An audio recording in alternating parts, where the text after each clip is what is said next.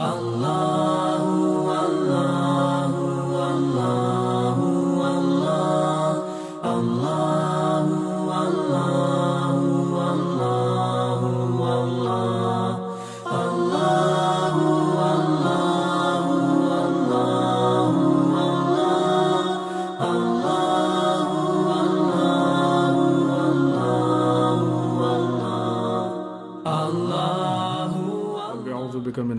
शयातीन वाउबिक रब यहज़रून। बसमीम अल्हम्दुलिल्लाह वसलामुन अला इबादिहिल्लज़ीन अस्तफ़ा। वलनतुद्दाइमतुल्बाक़ियतु अला दाइहिम अजमईन। मिनल आन इला क़ियाम यौमिद्दीन। अम्मा बाद, फ़क़द क़ाल अली इब्न अबी तालिब अलैहिस्सलातु वस्सलाम। अल एजाब यमन इज़दियाद। जुमे की इस गुफ्तु में या पैगाम में सबसे पहले हम अपने नफ्स और आप सबको अल्लाह के तकवे की दावत देते हुए, तकव इलाही यानी अल्लाह के निज़ाम को, अल्लाह के सिस्टम को ऐसे अपनाना कि वो इलाही सिस्टम हमको अल्लाह की नाराज़गी जहन्नम की आग, अज़ाब इलाही, अज़ाब परवरदिगार से महफूज कर ले जाए, बचा ले जाए। ज़ाहिर सी बात है कि इंसान जितना अपने वजूद को अल्लाह के हवाले कर देगा, अल्लाह की मर्ज़ी के मुताबिक चलेगा, अल्लाह के निज़ाम और सिस्टम के मुताबिक चलेगा, उतना ही वो आतिश जहन्नम से महफूज रहेगा। जहन्नम की आग से उतना ही महफूज हो जाएगा। इसके लिए ज़रूरी यह है कि एक तरफ़ से इंसान के पास इल्म हो, दूसरी तरफ़ से उस इल्म पे महकम, यकीन या ईमान हो। फिर उस महकम और यकीन के और ईमान के, महकम, यकीन और ईमान के साथ साथ इंसान के अंदर उस पर अमल करने का जज्बा हो। यह और बात है कि जब इंसान का महकम यकीन होता है या उसका पक्का ईमान होता है तो ख़ुद ब खुद इंसान अमल कर लेता है। ये वो जगह है कि जहाँ पे इंसान तकवे के मरहले में पहुँचता है। अल्लाह पे भरोसा। ये हमारी अखलाक़ी बीमारी है कि हमको नस्बता दूसरों पे ज़्यादा भरोसा होता है, अल्लाह पे कम भरोसा होता है। बहुत सी चीज़ें हैं जिसका अल्लाह ने वादा किया है। मसलन अगर इंसान बाज़ अवत देखता है कि रिस्क कमाने का जो सिलसिला है हलाल और हराम के मसले को जब सामने देखता है तो अल्लाह ने वादा किया कि तुम हलाल तरीके से जाओगे तो हम रिस्क देंगे बरकत देंगे। दूसरी तरफ़ से उसको दिखता है कि वो है थोड़ा बहुत हराम वो सोचता है कि थोड़ा आगे पीछे कर लेते हैं लेकिन ज़्यादा मिल रहा यही वो इम्तहान है कि इंसान को किस पे ईमान ज़्यादा है। किस तरफ़ इंसान का ईमान जो है वो झुक रहा है या आ, किस तरफ़ ईमान इंसान जो है वो यकीन उसका महकम या ज़्यादा है। लिहाजा अगर इंसान हलाल को छोड़ के खुदा न खास्ता हराम के रास्ते पे चला जाता है तो ऐसी सूरत में इसका मतलब ये हुआ कि उसका अल्लाह पे यकीन और भरोसा कम है बनस्बत उस ज़रिए के, उस वसीले के कि जिस तरफ़ वो चला गया। ये वो चीज़ है कि जो इंसान के अंदर प्रॉब्लम है। यानी इसकी तोहद में मुश्किल है, इसके यकीन में मुश्किल है, इसके ईमान में मुश्किल है। मसला सिर्फ़ तकवा का नहीं है। मसला एक पूरे बैकग्राउंड का है। जिसके एतबार से अगर देखा जाए तो उसमें ईमान भी शामिल है, सब तोहहीद से लेके सारा सिलसिला शामिल है उसमें। इससे वाज होता है कि इसका भरोसा किस पे बहुत सी चीज़ें हैं, मसलन रिस्क हट के। हक गोई की बात होती है, बातिल के ख़िलाफ़ आवाज़ उठाने की बात होती है, जुल्म के ख़िलाफ़ आवाज़ उठाने की बात होती है। इंसान बाज़ अवत चुप रह जाता है। नहीं, ये नुकसान होगा, वो नुकसान होगा, ये वो। खूब अल्लाह ने हुक्म दिया है। अमतहार सलाम की सीरत यही है। खूब होता है बाज़ अवत ऐसा नहीं कि नुकसान होता है। नहीं होता, नुकसान होता है। लेकिन अल्लाह के निज़ाम के मुताबिक जब हम काम करते हैं तो उस वक्त जो बज़ाहिर हमको जो लगता है कि नुकसान हो रहा है, ये नुकसान नस्बता कम है उस नुकसान को देखते हुए कि अगर हम इस पर अमल नहीं करेंगे तो जो नुकसान होने वाला है। काश इस मसले को हम लोग, इस फ़र्क को हम लोग महसूस कर लें। बातिल के ख़िलाफ़ आवाज़ नहीं उठाएँ, जुल्म के ख़िलाफ़ आवाज़ नहीं उठाएँ, गलत को गलत ना कहें, गलत के ख़िलाफ़ आवाज़ ना उठाएँ, हक़ की हिमायत के लिए आवाज़ ना उठाएँ। तो अब अगर आवाज़ उठाएँगे तो मसलन जिसके ख़िलाफ़ बोल रहे हैं, उससे हमको नुकसान के चांसेस हैं। खूब, अव्वल ये यकीनी नहीं है, हमेशा होता भी नहीं, जो लोग बोलते हैं, हर एक को नहीं है। खूब, ये बहुत ही मज़बूत इंसान की फ़िक्र या इंसान की नज़र नहीं है, ये सब जानते हैं। ये बहुत कमज़ोर फ़िक्र नज़र है। लेकिन बिलफाज अगर नुकसान हुआ भी, कि बहरहाल होता है, बाज़ लोगों को तो ये नुकसान कम है बनस्बत, उस नुकसान के अगर आवाज़ नहीं उठाएँगे और बातिल मज़बूत होता चला गया, बड़ा होता चला गया तो जितना बातिल मज़बूत होता जाएगा, बड़ा होता जाएगा, उतना फिर जब उससे हमको नुकसान आएगा तो वो उतना बड़ा होगा। फिर वो कौमी एतबार से होगा, फिर वो मुल्क के एतबार से होगा, फिर वो एक दो नहीं अफराद के अतबार से होगा, हो सकता है कि वो शायद ऐसा नुकसान हो जिसकी भरपाई मुमकिन ना हो। वो नुकसान ज़्यादा बड़ा होता है। तो ये जो नुकसान वाला मामला हम देखते हैं, फिर ये मामला देखते ही इसीलिए है, बात यहाँ तक पहुँचती ही इसीलिए है कि अल्लाह के बात पे हमको बहुत ज़्यादा यकीन और भरोसा नहीं होता है। नॉर्मल ज़िंदगी में भी बाज़ अवत कानून परवरदिगार हमको मालूम है कि अल्लाह का ये कानून है, अल्लाह का ये कायदा है। लेकिन हम लोग अपने ख्वाहिशात की बुनियाद पे, अपनी पसंद की बुनियाद पे हमको अच्छा लगता है कि नहीं, हमारी अपनी आसानी क्या है, उसके अतबार से हम लोग उसमें आसानी ढूँढने की कोशिश करते हैं। हती बाज़ात ये जो आसानी भी ढूंढी जाती है, वो आसानी के बाद ऐसा नहीं है कि वो हराम काम, नहीं, हलाल के दायरे में ही रहते हैं। लेकिन अगर इंसान कानून परवरदिगार में आसानी ढूँढने की कोशिश कर रहा है तो ये भी इस बात की दलील है कि जिस मरहले पे इंसान का ईमान होना चाहिए, वो नहीं। वरना वो अल्लाह के रास्ते में आसानी ढूँढने का क्या मतलब? अल्लाह के रास्ते, अल्लाह ने हुक्म दिया। ज़ाहिर सी बात है कि जो अल्लाह ने हमारे लिए सही समझा, वो। जब हम इलाज के लिए डॉक्टर के यहाँ जाते हैं तो वहाँ पे हम आसानी नहीं देखते हैं। वहाँ पे हम देखते हैं कि नहीं, हमारे लिए सही क्या है? वो आप हमको बताइए, सजेस्ट कीजिए। खूब अल्लाह भी हमको बता रहा है कि हमारे लिए सही क्या है। जो सही है उस पर अमल करें। जब उस पर हम अमल करेंगे तो अब जो नतीजा हमारे हाथ में आएगा, वो नतीजा यकीनन बेहतर से बेहतर होगा और मुफीद होगा। अल्लाह के कानून के मुताबिक अमल करने में इंसान को दुनिया में भी फ़ायदा है और आखरत में भी फ़ायदा है।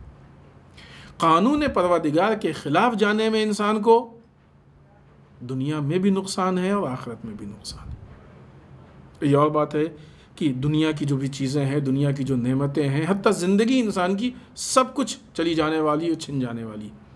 कौन ऐसा इंसान जो कहता है कि नहीं, हम तो इस दुनिया में आ गए, हम रहेंगे नहीं? है कोई? ख़ास करके इस ज़माने में, जबकि हर कुछ दिन बाद और हर कुछ घंटे बाद कहीं ना कहीं से एक मौत की खबर सुनने में आती है। फ़लाँ का इंतकाल हो गया, फ़लाँ का अब तो इंसान को ज़्यादा जो है अपने आप को मौत के लिए आमादा करना चाहिए। और ऐसे ऐसे अफराद की मौत की खबर जो आम हालात में इंसान तस्वुर नहीं करता है। ठीक है कि मौत के लिए कोई वक्त मुन नहीं है। कभी भी इंसान की मौत आ सकती है, कोई उसके लिए इंसान वो नहीं मुन कर सकता, लेकिन दुनिया में कुछ एक एज देखी जाती है इलासबाब देखे जाते हैं। बाज़ अवत ऐसे अफराद का इंतकाल हो जाता है कि जिनकी ज़ाहरन एज भी उतनी नहीं थी। बस ज़ाहिर ऐसे इलासबाब नहीं थे, बस छोटी मोटी कोई बीमारी हुई और इंतकाल हो गया। खुदा नखास्ता कोई छोटा मोटा एक्सीडेंट हुआ, इंतकाल हो गया। तो मौत कभी भी, कहीं भी, किसी को भी, किसी वक्त भी आ सकती है। खुद जब एक मतलब मौत आ गई तो अब क्या इंसान ये नहीं कह सकता कि नहीं नहीं मलकुल मौत से भी हम नहीं जा सकते, हमको नहीं जाना है, हमको ये है ऐसा किसी का अख्तियार में? ज़रा भी इंसान के अख्तियार में नहीं है, एक सेकंड के लिए भी अख्तियार में नहीं कि एक सेकंड हम रुक के आते हैं। कहती नहीं आमतौर से, एक सेकंड हालाँकि वो एक सेकंड में होता नहीं है। लेकिन सही मानों में भी मलकुल मौत के आने पे सिर्फ़ एक सेकंड के लिए भी हम अपने आप को नहीं रोक सकते हैं, जो वक्त मुन है। तो ये वो चीज़ें हैं कि जिनके लिए हम इतनी सारी कोशिश कर रहे हैं और सब कुछ छोड़ रहे हैं, वो खुद छूटने ही वाली है। जिसके लिए सब कुछ छोड़ रहे हैं। और जिसको छोड़ रहे हैं इसके लिए, इस छूटने वाली के लिए जिसको छोड़ रहे हैं, वो बाकी रहने वाली चीज़ है। अल्लाह की खुशनुदी। अल्लाह का क़ुर्ब, अल्लाह से करीब होना, अल्लाह की मर्ज़ी। कुरान मजीद ने कहा, रिजवान मिन अकबर। अल्लाह की ज़रा सी रज़ा कायनात की सबसे बड़ी चीज़ है। अल्लाह को राज़ी कर ले जाए। सबसे बड़ी चीज़ हमको हासिल हो, सब कुछ मिल जाएगा। हाँ फिर यह है कि अल्लाह तय करेगा कि हमको क्या चाहिए और क्या हमारे लिए बेहतर। जिस तरीके से अपने छोटे बच्चों, बच्चे बहुत कुछ मांगते हैं, लेकिन माँ बाप तय करते हैं कि बच्चों को क्या चाहिए, क्या नहीं चाहिए। इसी तरीके से अक्सर अवकात हम सब भी अल्लाह से बहुत कुछ मांगते हैं, लेकिन अल्लाह तय करता है कि हमारे लिए क्या सही और क्या गलत है। फिर वहाँ पर हमको ज़िद नहीं करना चाहिए। अच्छे बच्चे ज़िद नहीं करते। इसी एतबार से अच्छे बंदे भी अल्लाह के सामने ज़िद नहीं करते। फिर यहाँ पे वो ईमान का बदला होता है। लिहाजा जिन चीज़ों को हम बचाने की कोशिश कर रहे हैं, सब फना होने वाली है, सब छूटने वाली है। उसके मुकाबले में जिस चीज़ को हम कुर्बान कर रहे हैं, छोड़ रहे हैं दरवाक़ वही बचने वाली है, चाहे वो हमारे अमाल हों, चाहे हमारा सही ईमान हो, चाहे तकवा परवदिगार हो, चाहे अल्लाह से मुतक़ हमारा अक़ीदा हो, चाहे तोहद पे हमारा ईमान हो, अक़ीदा हो, चाहे अल्लाह की रज़ा हो, चाहे अल्लाह की क़ुरबत हो, चाहे अल्लाह के लिए अखलास के साथ किए जाने वाले अमल हों, ये वो चीज़ें हैं कि जो बाकी रहने वाली चीज़ें हैं। कि जो इन बाकी रहेंगी और इसका फ़ायदा दुनिया में भी है और आखिरत में भी है। लिहाजा इन तखवा इलाही को हम लोग अपनाएँ, यानी कानून परवदिगार को समझें, देखें, गहराई में जाएँ और फिर उसके बाद उस पर हमारा पक्का यकीन हो और उस यकीन के बाद हम अल्लाह के उस कानून को अमली शक्ल में लेके आए। आइए अमीरमिन मौलाए मुतक़ियान हज़रत अली इबन अबी तालिब अलैहिस्सलाम का ये कौल कलमात क़सार में से कि इमाम फरमाते हैं, एजाबुल अल एजाबो यमनाउल इज़दियाद। एजाब उजुब से, उजुब यानी ख़ुद पसंदी अल एजाबो, एजाब यानी ख़ुद पसंदी अगर किसी के अंदर पैदा हो जाए, यमनाउल इज़दियाद। तो वो इंसान को ज़्यादा अमल से, बुज़ुर्गी, तरक्की, कमाल इन चीज़ों से रोक देती है। उजुब अगर पैदा होता है तो इंसान को कमाल से रोक देता है, ज़्यादा अमल से रोक देता है, अच्छाइयों से रोक देता है। खुद पसंदी इंसान को हलाक कर देती है, ख़राब कर देती है। लिहाजा मौला यहाँ पे हमारी जो ज़िंदगी है, दरवाक़ इसका ताल्लुक़ हमारी इनफरादी ज़िंदगी से भी है और हमारी सोशल ज़िंदगी से भी है। दोनों से मुतल उसमें इंसान यानी ख़ुद हमको जो मिलना है वो इनफरादी ज़िंदगी के लिए। लेकिन इसके जो असरात हैं, एक तरफ़ से जो सोशल ज़िंदगी के हैं, वो दूसरों पे भी पड़ते हैं। ज़ाहिर सी बात, जब इंसान के अंदर उजुब पैदा होता है ख़ुद पसंदी तो वो दूसरों से मुताल भी होते हैं और माशरे में भी उसके असरात सामने आते हैं और ख़ुद माशरे को भी नुकसान होता है। लिहाजा उससे मुतल भी है।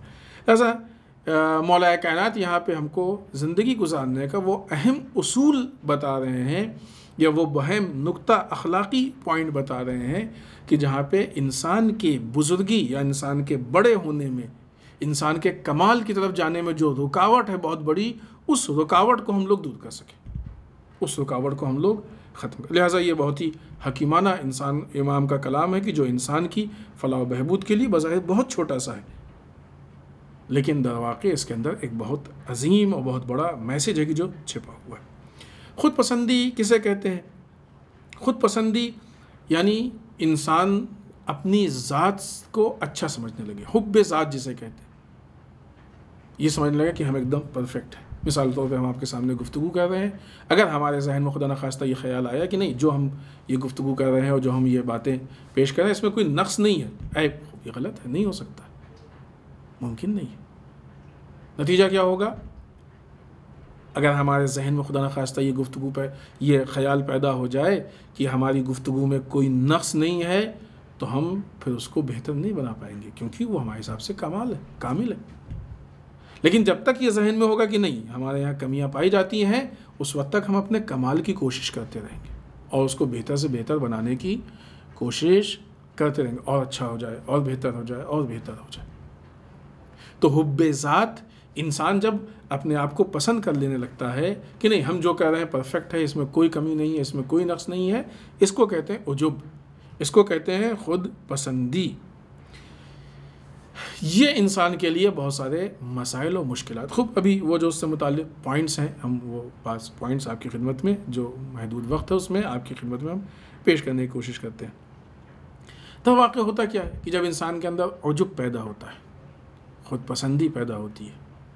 तो ऐसी सूरत में ये ख़ुद पसंदी इंसान को जो उसके पॉजिटिव नुक्ते हैं, मुस्बत पॉइंट्स हैं, वो दिखाती है कि तुम्हारे अंदर ये अच्छाई पाई जाती है, तुम्हारे अंदर ये अच्छाई पाई जाती है, तुमने ये काम किया उसमें, ये अच्छाई है, ये अच्छाई है, ये अच्छाई है, ये अच्छाई और उसके मुकाबले में अजुब की बुनियाद पे इंसान के अंदर जो कमियाँ होती हैं, वो इंसान नहीं देख पाता है।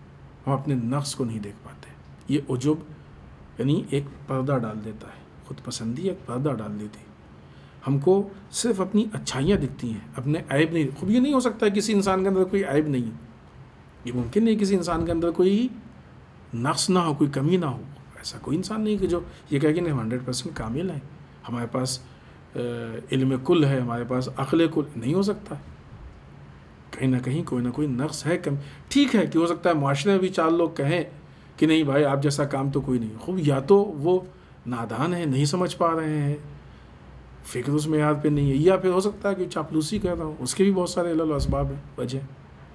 और उस बुनियाद पर हमको फैसला नहीं करना चाहिए चार लोगों के कहने पर तो ये नहीं हो सकता है कि हमारे यहाँ कोई नक्स ना हो। लेकिन अगर हमको अपना नक्स दिखना ख़त्म हो जाए तो ये प्रॉब्लम है, अखलाकी प्रॉब्लम और जो भी ये काम करता है, कि हमको हमारी अच्छाइयाँ दिखाता है और जो हमारे ऐब हैं, वो ऐब हमको नज़र नहीं आते हैं, वो ऐब हमारे छिपने लगते हैं। या होता यह है कि जो हमारे यहाँ अच्छाइयाँ हैं, वो अच्छाइयाँ ज़्यादा बड़ी करके दिखाता है। मिसाल के तौर पे एक इंसान जो है, हम खूब अपनी मिसाल एक हम आपके सामने गुफ्तु कर रहे हैं। तो अब हमारा नफ्स हमको ये कहे कि नहीं, तुम्हारे जैसा तो कोई है ही नहीं। अपने से बड़ा कह दिया खूब ये नहीं हो सकता। हम छोटे से, तालब इल्म, हमको पहचानना चाहिए कि हमारी हैसियत क्या है। हमसे बड़े बड़े बहुत से मौजूद हैं, दुनिया भरी हुई है, जो हमसे अच्छे हैं। लेकिन अगर हम ही तस्वुर कह लें नहीं, हम तो फ़लाँ से अच्छे हैं, फ़लाँ से अच्छे हैं और सबसे अच्छे हैं। तो इसका मतलब ये कि अच्छाई को ज़्यादा बड़ा करके दिखा रहा है। और ऐब जैसा कि हमने अभी अर्ज़ किया कि नहीं दिखता, बिल बिलफज अगर दिखता है तो उसको बहुत छोटा करके दिखाता है। और ये है इंसान की फितरत में कि वही ऐब, वही नक्स इंसान जब अपने अंदर देखता है तो बहुत छोटा लगता है, दूसरे में देखता है तो बहुत बड़ा लगता है। बाज़ात होता है इंसान के साथ। ये अखलाक़ी पॉइंट है, अखलाक़ी कमी है इंसान के अंदर, बीमारी अखलाक़ी है दरवा के तो उजुब क्या काम करता है? या तो हमारी अंदर जो अच्छाइयाँ हैं सिर्फ़ वही दिखाता है या ख़ुद अच्छाइयों को बड़ा करके दिखाता है। मुकाबले में या तो बुराइयों को छिपा देता है नहीं दिखाता है या अगर दिखती भी हैं बुराइयाँ तो उसको छोटा कर देता नहीं है तो चलता है सब होता है। ना ये जुमला हम लोग इस्तेमाल करते हैं ख़ुद ही अपना फ़ैसला कर लेते हैं कभी भी कुछ भी वो हुआ। नहीं नहीं चलता है इतना तो चलता है इतना तो होता है सभी करते हैं। ये सब इस तरीके से हम लोग बहाने वगैरह ढूंढ लेते हैं कि अपने आप को जो है वो हम आ, ये साबित कर सकें कि नहीं हम गलत नहीं हैं या बहुत कोई बड़ी गलती हमने नहीं की है। इन, इसका जो असर होता है अजुब का, वो ये कि इंसान जो कमाल की तरफ़ जा रहा है, जिसको कहते हैं तकामुल तकामुल का एक सफ़र है इंसान का। हमारी ज़िंदगी का काम यह है कि हर रोज़ हम आगे बढ़ें। सफ़र का मतलब ही होता है। अगर कोई इंसान कोई सफ़र करता है तो सफ़र का मतलब क्या होता है? घर से निकला तो वो रेलवे स्टेशन या बस स्टैंड या एयरपोर्ट की तरफ़ जा रहा है तो आगे बढ़ रहा है। फिर उसके बाद वहाँ पहुँचा, जिस ट्रेन पे बस पे या फ़्लाइट पे बैठा तो वो आगे बढ़ रही सफ़र का मतलब कि कदम आगे बढ़ता जाए, आगे बढ़ता जाए। और बिलफज बाज़ात वो इंतज़ार भी होता है तो वो भी दरवाक़े, वो इंतज़ार भी उस चीज़ के लिए होता है कि जो आगे बढ़ने हो। लेकिन अगर मसलन जो असल सफ़र है, वो रुक जाए ट्रेन रुक जाए कि अब नहीं खुद उसको सफ़र नहीं कहेंगे अपने मकसद तक नहीं पहुँचेगा इंसान। बस अगर रुक जाए फ़्लाइट बीच में रुक जाए, खुद उसको सफ़र नहीं कहेंगे। ये सफ़र की हालत से निकल गए। हमारी ज़िंदगी सफ़र है कमाल की तरफ़, तकामुल की तरफ़, कमाल की तरफ़ जा रहे हैं। हर रोज़ हम इल्म को हासिल करके अपने अंदर इल्म में इजाफ़ा करें ताकि हम कमाल की तरफ़ जाएँ। हर रोज़ हमारे तखबे में इजाफ़ा हो ताकि हम कमाल की तरफ़ जाएँ। हर रोज़ हमारी मार्फत में इजाफ़ा हो ताकि कमाल की तरफ़ जाएँ। हर रोज़ हमारे अमल की कैफियत और क्वालिटी में इजाफ़ा हो, बेहतर से बेहतर हो, ताकि हम कमाल की तरफ़ जाएँ। ये कमाल के रास्ते हैं कि हम, जब इंसान के अंदर उजुब पैदा हो जाता है तो जब इंसान को उजुब ये समझा देता है कि तुम्हारे यहाँ तो सारी अच्छाइयाँ पाई जाती हैं, तुम्हें क्या नक्स है? तो फिर इंसान कमाल की तरफ़ नहीं जाता है। मिसाल के तौर पे, जब तक इंसान को ये महसूस होता है कि वो भूखा है, उस वक्त तक खाना खाता है। जब इंसान को ये एहसास होता है कि अब उसका पेट भर गया है, अब उसको ज़रूरत नहीं है, वो हाथ रोक देता है, नहीं खाता है खाना। ये एहसास हुआ कि पेट में जो जगह थी जो हमको इस खाने की कामिल हो गई, उस एतबार से, खाने के एतबार से। ऐसा हाथ रोक देता है।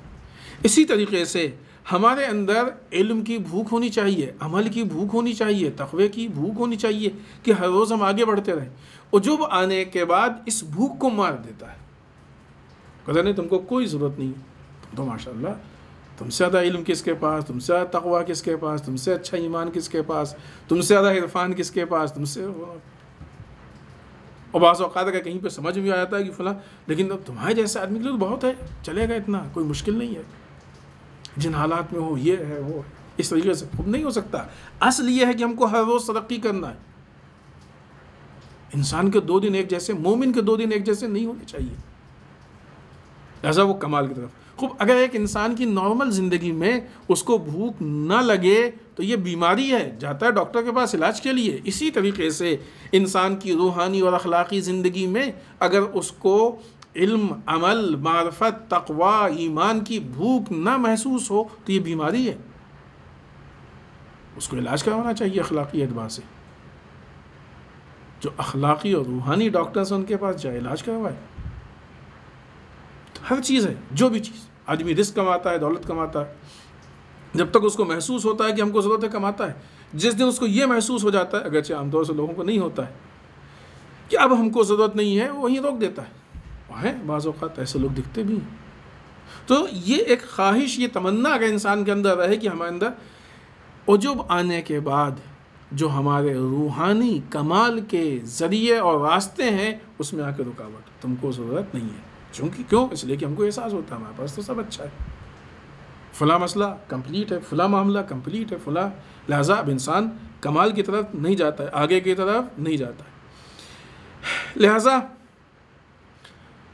इंसान को जब अपना नक्स नहीं दिखता है तो कमाल का सफ़र रुक जाता है और जो इंसान के नक्स पे पर्दा डाल देता है।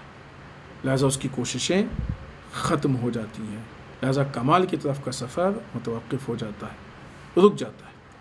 मौला कायनात ने इसके अलावा भी दूसरी जगहों पे हती दूसरी हमतों में भी इस चीज़ की तरफ़ इशारा किया है। हमत नंबर 38 में भी हमत नंबर 150 में भी इस चीज़ की तरफ़ इशारा किया है कि अजुब की ख़राबी क्या है, उसके असरात क्या हैं। बनवान मिसाल हम पेश करते हैं हमत नंबर 38 में इमाम फरमाते हैं कि अवहशुल वहशत अलउजब। बदतरीन, तनहाई इंसान की उजुब खुद पसंदी वहशत, तनहा। उजुब की वजह से इंसान तनहा रह जाता है। लोग उसको छोड़ देते हैं। क्यों?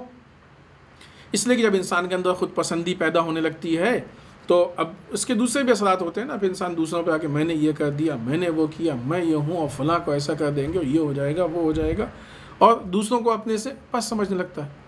या जब बातचीत भी होती है तो दूसरों को जलील आए तुम क्या, हम ये और भी जो उसके दूसरे सोशल लाइफ के असरात होते हैं वो सामने आते हैं। लिहाजा फिर उसके जो दोस्त हैं और चाहने वाले हैं, जो उससे वाकई मोहब्बत करने वाले हैं, वो उसको बर्दाश्त नहीं कर पाते। और आहिस्ता आहिस्ता फिर उससे दूर होने लगते हैं। ये होता है लोगों की ज़िंदगी में। कि मसलन एक ज़माने में बहुत अच्छे लोग पास थे, दूर हो गए और चापलूस या गलत किस्म के लोग पास आ गए। या एक ज़माने में बहुत गलत और चापलूस किस्म के लोग पास थे, दूर हो गए और अच्छे लोग पास आ गए। ये ख़ुद इंसान के अपने मिजाज और फितरत की बुनियाद पर होता है कि इंसान कैसा बिहेव कर रहा है, लोगों से कैसा जो है वो उनका जवाब दे रहा है रिएक्शन उसका लोगों के साथ कैसा है, अखलाक कैसा है, इन सारी चीज़ों पर यह मुनसर है। लिहाजा का इंसान के अंदर बहुत ज़्यादा खुद पसंदी पैदा हो जाए उजुब पैदा हो जाए तो फिर वो अच्छे लोग आहिस्ता आहिस्ता उसको छोड़ देते हैं। क्योंकि ख़ुद पसंदी की बुनियाद पे फिर वो ख़ुद बरतरी और बहुत ही ज़्यादा फ़ख्र, मुबाहत, ये चीज़ें हैं कि जिसको लोग बर्दाश्त नहीं कर पाते। अलबत्त यहाँ पे एक थोड़ी सी गलत फहमी होती है, जैसा कि हमने अर्ज़ किया कि मसलन एक गिरोह और दूसरा गिरोह। अगर ये जैसे मौला का कौल है कि उजुब की बुनियाद पर इंसान के अंदर तनहाई पैदा हो जाती है। लेकिन इंसान कहता है नहीं फ़लाँ के अंदर मसलन उजुब भी है लेकिन तनहा नहीं है। आसपास लोग हैं। मसला ये है कि ए, उसके पास जो लोग हैं वो किस टाइप के लोग हैं? ये देखना अहम है। आया उसके एतराफ़ में दोस्त हैं या मतलब परस्त हैं? अगर हम खुदा न खास्ता ये अपनी तारीफ़ और मैं ये हूँ मैं वो हूँ मैं वो हूँ फिर भी हो सकता है इतराफ़ में लोग हों। साथ में लोग हों। तो ये देखना पड़ेगा है ये वाकई हमारे दोस्त हैं कि नहीं है? क्योंकि अतराफ़ में रहने वाले, साथ में रहने वाले, दोस्ती के नाम पे उठने बैठने, वो इंसान को दोस्त की ज़रूरत होती है कोई इंसान ऐसा नहीं कि जिसको दोस्त की ज़रूरत नहीं ये भी है कि गरीब तरीन है वो इंसान की जिसका कोई दोस्त ना हो। दोस्त के अपने शराइ हैं, पूरा मौजू है कि दोस्त कैसा होना चाहिए, उसके अंदर सिफ़ात कैसे होने चाहिए भी खुद दोस्त के मौजू पर हम बात नहीं कर रहे। दोस्त, हर इंसान का दोस्त है, जिसके साथ उठता बैठता है, जिसके साथ अपना दर्द दिल बयान करता है, जिसके साथ अपने राज को बयान करता है, मशवरा लेता है, सबके दोस्त होते हैं। सवाल इस बात का कि जिससे ये सारी चीज़ें हो रही हैं, वो उसका मुखलिस है या मतलब परस्त? क्योंकि जब इंसान चापलूस या मतलब परस्त होता है तो फिर इन चीज़ों को बर्दाश्त कर लेता है। लेकिन जो दोस्त होता है, वो फिर उसको मकसद नहीं है, वो मतलब से उसने दोस्ती नहीं की। ये और बात है कि दोस्ती की बुनियाद पे ठीक है एक दूसरे की हेल्प कर देते हैं, मदद कर देते हैं। लेकिन उसने इसलिए दोस्ती नहीं की थी। आपकी, हमारी और आपकी अच्छाई देख के दोस्ती की थी। लिहाजा, दोस्त जो होता है अगरचे दूर होने के बाद भी जिसे कहा जाए कि वो, उसका दिल बहुत ज़्यादा जो है वो तंग होता है, परेशान होता है, अपने दोस्त को बर्बाद होते हुए देखते परेशान रहता है। लेकिन उसके पास रास्ते नहीं होते समझाने के, कि वो हकीकत को बयान कर सके, पर्दों को सामने से हटा सके। लिहाजा, जब इंसान के अतराफ़ में इस तरीके के अफराद हो जाते हैं और फिर खुद खुद पसंदी की बुनियाद पर दोस्त तो वाहवाही नहीं करता। ये जो मतलब परस और इस तरह के लोग होते हैं, ये वाहवाही। तो अब इंसान पहचान नहीं पाता है, बल्कि इनको ज़्यादा बेहतर समझता है। तो वो दोस्त किस काम का? जब भी देखो, हमारे ऐप बयान करता है, ये देखो, हमेशा हमारी तारीफ़ करता है।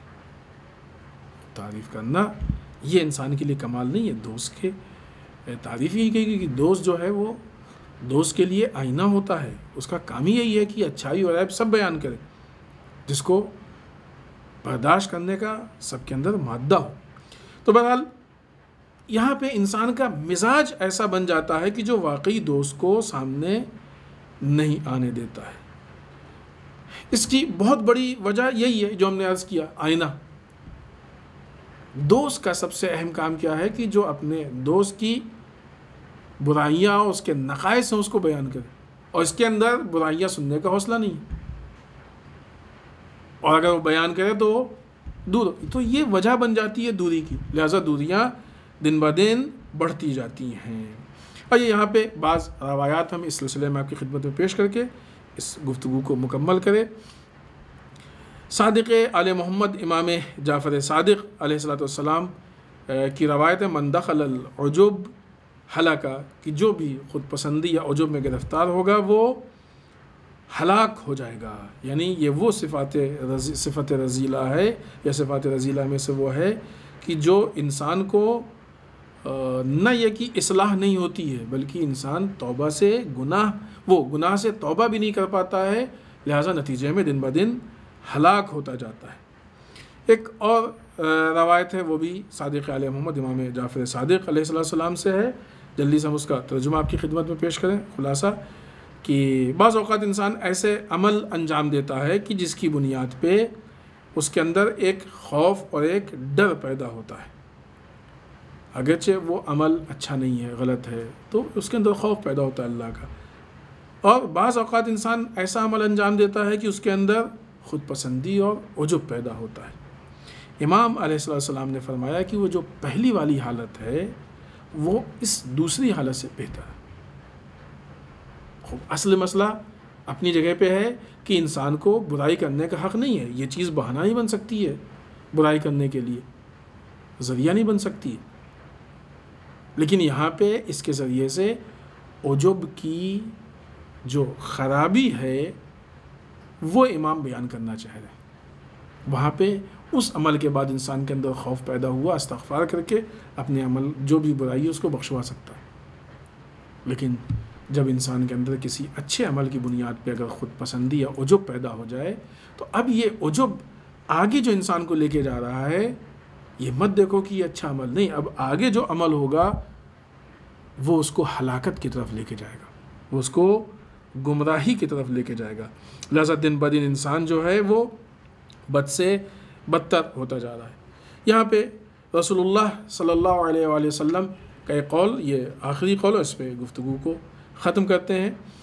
रसूल अकरम अलैहि वसल्लम, मौला कायनात हज़रत अली ibn अबी तालिब अलैहिस्सलाम से फरमाते हैं, या अली सलासन महलिकातन शुहन मुताउन वहुआ वहवन मुतबन व एजाबुल मर ए बनफ़ या अली तीन चीज़ ऐसी हैं कि जो मोहलिकात में से हैं। हलाक कर देने वाली हैं इंसान को, हलाक कर देती हैं तीन चीज़। पहली चीज़ क्या कि वो बुखल की जिसकी इंसान पैरवी करे। कंजूसी, अगर इंसान अपनी ज़िंदगी में कंजूसी को। दूसरी चीज़, ख्वाहिशात नफसानी, कि अगर इंसान अपने आप को उसके आगे तस्लीम कर दे, अपने आप को उसके हवाले कर दे। और तीसरी चीज़, कि अगर इंसान के नफ्स में उजुब पैदा हो जाए। ये तीन चीज़ें हैं कि जो इंसान को हलाक कर देती हैं। बर्बाद कर देती है। लिहाजा, मौला कायनात यहाँ पे हमसे ये कहना चाहते हैं कि उजुब जैसी बीमारी से हम लोग बचने की कोशिश करें। खुद बीमारी का मसला यही होता है कि उसके असरात होते हैं। अभी जैसे मौजूदा ये वबा चल रही है, खुद जैसे ही उसके असरात सामने आते हैं, बाज़ असरात इंसान को हल्का सा शक भी होता है तो फ़ौर इंसान एहतियात करने लगता है। क्यों? इसलिए कि मालूम है कि ये वो बीमारी जिसमें इम्कान पाए जाते हैं हलाक होने के। ज़रूरी नहीं कि जिस इंसान को कोरोना हो जाए, वो सब हलाक ही हो जाए, ऐसा नहीं होता। है बहुत से अक्सरियत बचती है। इम्कान पाए जाते हैं हलाक होने के। उस इम्कान की बुनियाद पे इंसान के अंदर इतना खौफ पैदा हो जाता है कि फ़ौर इलाज की कोशिश करना चाहिए, गलत नहीं कर सही है। इलाज की कोशिश करता है, बेहतरीन डॉक्टर के पास जाता है, अच्छे से अच्छी दवा और इलाज की कोशिश और सब कुछ करता है, जितना भी जो भी मुमकिन हो। जो कुछ डॉक्टर ने बताया। लेकिन ये जो अखलाक़ी बीमारियाँ हैं और जब जैसी बीमारियाँ, यहाँ एहतमाल नहीं है। ये अगर खुदा न खास्ता किसी के अंदर आ जाए तो यकीन है हलाकत का। तो अगर एहतमाल की बुनियाद पे इंसान को इतना केयर करने की ज़रूरत है तो यकीन की बुनियाद पे कितना उसको केयर करने की ज़रूरत है। जैसे ही उजुब की अलामतें आएँ तो इंसान फ़ौर उसके इलाज की कोशिश करे वरना इमाम क्या कह रहे हैं कि ये तुमको कमाल से, अमल की ज़्यादती से, तकामुल से, आगे बढ़ने से, तरक्की से रोक देगा। तन्हाई ज़िंदगी तक पहुँचा देगा। तन्हाई की ज़िंदगी। और बाज़ इंसान की इतनी तन्हाई की ज़िंदगी हो जाती है कि ठीक है शायद बज़ाहिर, लेकिन हती जो फैमिली के अफराद जो होते हैं, वो भी बहुत ज़्यादा जहनी एतबार से, फ़िक्री एतबार से उसके साथ नहीं होते उजुब की बुनियाद पे। लिहाजा ये ऐसी मौलिक बीमारी है कि जो इंसान को मुख्तलिफ़ जिहाद से हलाकत तक पहुँचा देती है। आइए इसके बाद इस हफ़्ते के मुनासिबात में सबसे पहली मुनासिबत जो आज से जिसका ताल्लुक़ है हज़रत अबू तालिब वसलाम की विलायत बासादत। आप सब की खिदमत में तबरीक व तहनीत अर्ज़ करते हैं। और हम सब की तरफ़ से तमाम मराज वली फ़कीह, बिलखसूस वक्त के इमाम की खिदमत में तबरीक व तहनीत अर्ज़ करते हैं। जनाब अबू तालिब की ज़ात, वो ज़ात है कि जो बेहतरीन नासिर रसालत गुजरे। दरवाक़, ये जनाब अबू तालिब की नुसरत ख़ुद उनके ईमान की दलील है। आगाज़ में जिस वक्त रसूलुल्लाह सल्लल्लाहु वसम अपने दीन को, अपने इस इलाही निज़ाम को लोगों के सामने, इस्लाम को लोगों के सामने पेश कर रहे थे तो उस वक्त वही लोग इस्लाम को कबूल कर रहे थे कि जो इस्लाम की कैफियत को देख के उसको सही समझ रहे थे और उनका ईमान उसके ऊपर पैदा हो रहा था कि ये वाकई अल्लाह का दीन है, कोई ऐसा रास्ता मिल जाता था, कोई ऐसा ज़रिया कि नहीं, वाकई ये कलाम सिर्फ़ अल्लाह का कलाम, उसके अलावा नहीं हो सकता, ये निज़ाम अल्लाह का निज़ाम है, उनको पक्का यकीन और ईमान होता था। लेकिन वो अफराद की जिनका ज़रा भी ताल्लुक़ दुनिया से और दुनिया परस्ती से, वो लोग रसोल्ला सल्ला वसम के इस निज़ाम को कबूल नहीं कर रहे थे। नहीं कि कबूल नहीं, बल्कि शुरू में तो बहुत ज़्यादा वो भी नहीं आ रहे तो यतीम अब्दुल्ला है इसकी बात कौन सुनेगा, कहाँ तक पहुँचेगा? जिसे कहा जाए कि थोड़ा सा अच्छी निगाह से नहीं देख रहे थे। यकीन नहीं था लोगों का। कहाँ पहुँचेंगे, क्या करेंगे? इस्लाम में मतलब परस्त उस वक्त शामिल हुए कि जिस वक्त इस्लाम कमाल की तरफ़ गया, बहुत सारे लोग मुसलमान हो गए, इस्लाम की क़वत लोगों के सामने आई। और बिलखसूस कि जब हुकूमत सामने आई। अच्छे हुकूमत से पहले भी मतलब परस्त आना शुरू हो गए थे। लेकिन जनाब अबू तालिब अलैहिस्सलाम का कमाल ईमान आप देखें कि जनाब अबू तालिब को रिसालत और उलूहियत पे आपका ईमान उस वक्त था जब कोई ईमान नहीं लाया था। उस वक्त, अवाइल से, जिस वक्त हत्या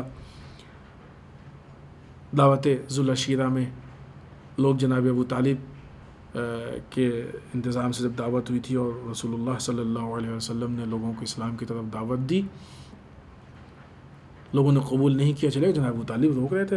बात तो सुनो, कम से कम कह क्या है ये खुद जनाब अबू तालिब की ईमान की दलील है। और उसी पहले ही मरहले में जनाब अबू तालिब, जो कि रसूल जब ये अपने इस्लाम को, दीन को पेश कर रहे हैं तो साथ में जनाब अबू तालिब नुसरत कर रहे हैं। और जनाब अबू तालिब के साथ ख़ुद मौलाए कायनात, हज़रत अली ने अबी तालिब अलैहिस्सलाम कि जो पहले वो शख्स हैं, पहली वो ज़ात है कि जो रसूल पे ईमान लाए। ज़ाहिर सी बात है कि मौलाए कायनात का अपना एक अलग मकाम है, दर्जा है, इसमें कोई शक नहीं। राजा जनाब अबू तालिब की जो ईमान से मुतक़ आपकी जो निगाह थी, जो आपकी नज़र थी, वो एक वाकई लोगों के लिए नमूना अमल है। ईमान पे इतना महकम होना, ये जनाब अबू तालिब से हम सीखें। अब इस ईमान के रास्ते में कोई मिशन लेके हम लोग आगे बढ़ते हैं, मुश्किलात होती हैं, परेशानियाँ आती हैं, और एक हद तक इंसान मुश्किल और परेशानियों को बर्दाश्त करता है, और उसके बाद कहता है, भाई अभी हमारे बस का नहीं है। रसूलुल्लाह सल्लल्लाहु अलैहि वसल्लम जब लोगों के सामने इस्लाम को पेश कर रहे हैं, खूब शुरू में लोगों ने कोई ख़ास नहीं समझा, फिर उसके बाद जब देखा कि नहीं, ये इस्लाम बढ़ रहा है तो मुखालफत शुरू की, रसूल को रसूल को बदनाम करने की कोशिश की, रसूल पे हमले किए, रसूल के ऊपर पत्थर मारे गए, रसूल ज़ख्मी हो गए, रसूल के ऊपर गलाजत फेंकी गई। ना क्या क्या किया गया? रसूल को जादूगर कहा गया, रसूल को शायर कहा गया। कोई एक मरहला दिखाई जनाब, जहाँ पे जनाब अबू तालिब ने रसूल की नुसरत ना की हो, रसूल का साथ छोड़ दिया हो। या ये कहा हो कि भाई अब ये आपकी तहरीक नहीं मालूम आप कहाँ जा रहे हैं। कितने लोग आपको मानने मुखालिफिन, जितने बड़े बड़े मेन मेन सब तो आपको मुखाल, आपके मुखालिफ हैं नाउज़बिल्ला ऐसी कोई बात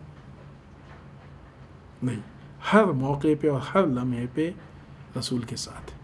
ये इस्तेकाम था ईमान का कि ज़माने की मुश्किल को जनाब अबू तालिब ने नहीं देखा, क़ुरबानियों को जनाब अबू तालिब ने नहीं देखा।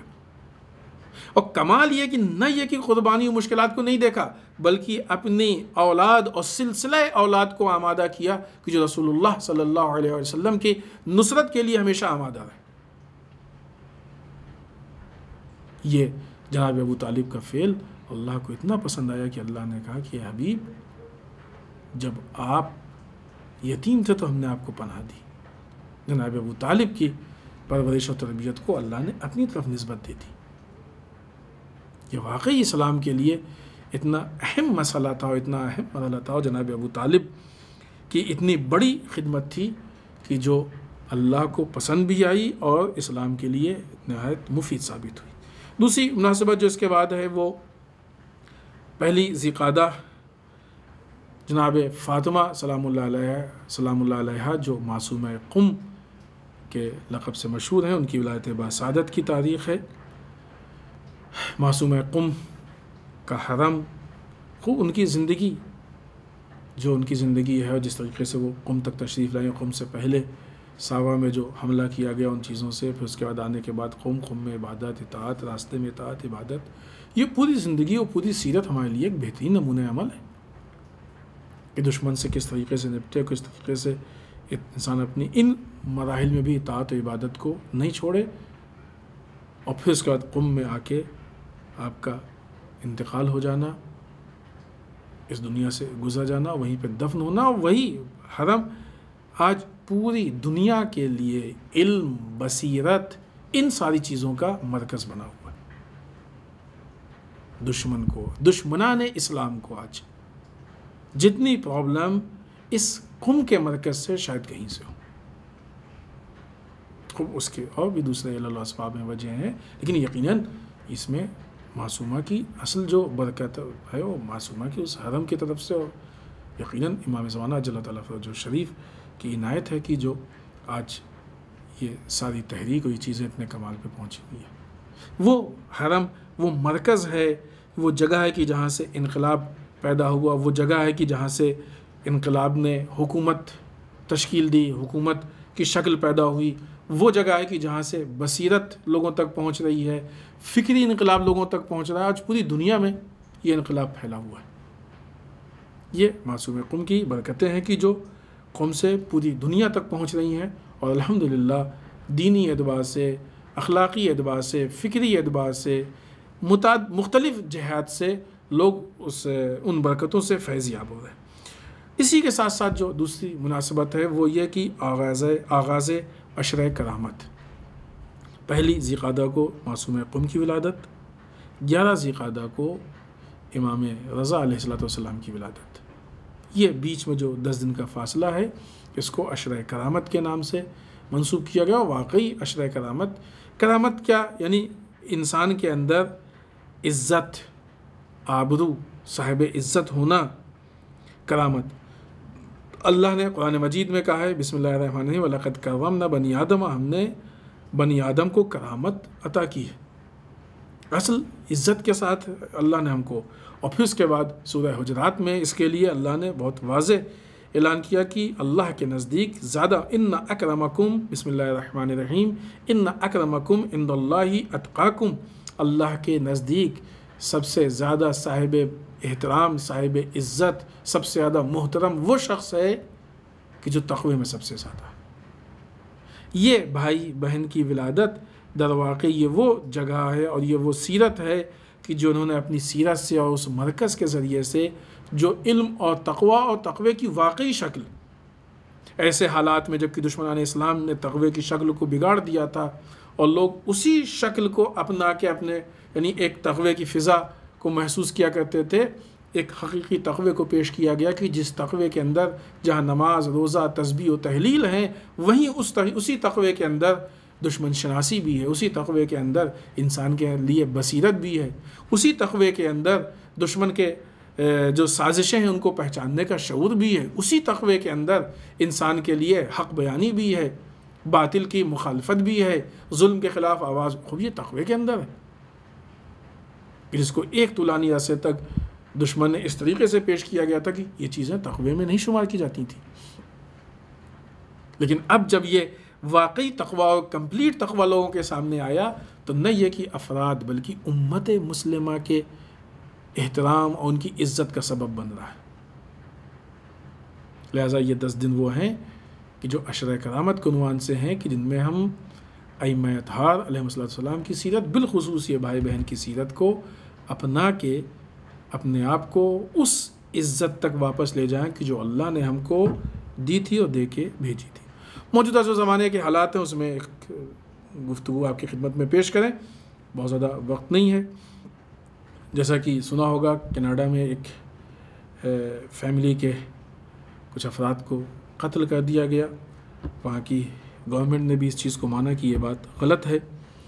और दरवाक़ ये एक आतंकवादी हमला है कि जो कहीं से जिसकी कोई तोजी और कोई वो नहीं हो सकती है। दरवाक़ ठीक है वो, उन्होंने इस चीज़ को माना और भी जो भी उस पर रिएक्शन हो रहा है इन बेहतर तरीके से इन चीज़ों को देखा जाएगा, हल किया जाएगा, लेकिन यहाँ पे इंटरनेशनल लेवल पे ये गौर व फ़िक्र करने की ज़रूरत है। हर आदमी को ये सोचने की ज़रूरत है कि आज पूरी दुनिया में मुसलमानों के ख़िलाफ़ लोगों के दिलों में क्यों नफ़रत पैदा हो रही है?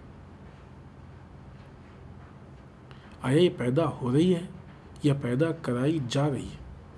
अगर पैदा कराई जा रही है तो उसके इसबाब क्या हैं? क्या वजह खूब, अगर गलत काम करने वाले हैं तो हर मज़हब में पाए जाते हैं।